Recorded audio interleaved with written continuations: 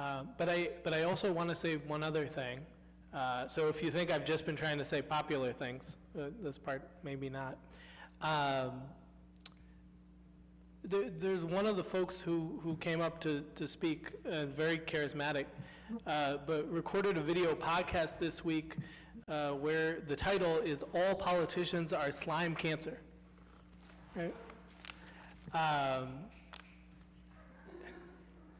yeah, I mean, really, I mean, you know, we're not superheroes. We're not special. We don't have special powers. But we're also not any, we are all people who live in your neighborhoods. We're all people. We're not here with our families. We're not here getting rich off of this.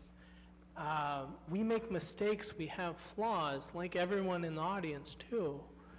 Um, one of my colleagues, someone I consider a friend, stood up at that podium and, and asked Mr. Fusco to meet him in a dark alley. So far past inappropriate so far gone.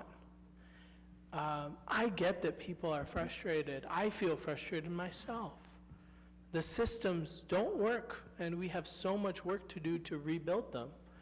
Um, but we all have that responsibility together. Thank you, Councilman Malik.